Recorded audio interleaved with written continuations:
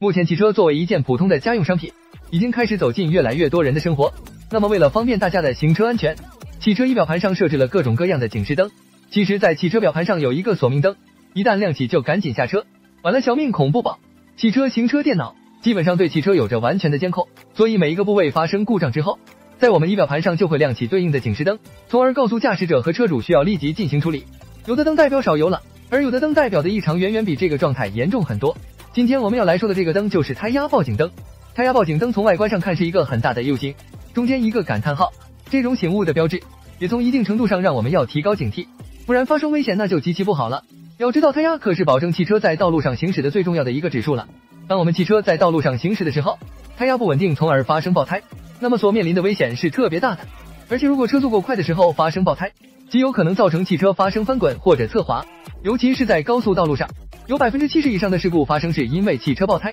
所以车辆胎压报警灯如果亮起，那么需要我们乘客立即下车进行检查，否则这样大的安全隐患上路，那真的就危险性很高了。其实汽车是一个比较精密的仪器，任何地方发生危险或者是不正常的运转状态，汽车都会跟我们显示的，从而避免掉这些危险。所以呢，我们在行车过程当中一定要紧紧观察这些数据，以保证汽车的可靠程度。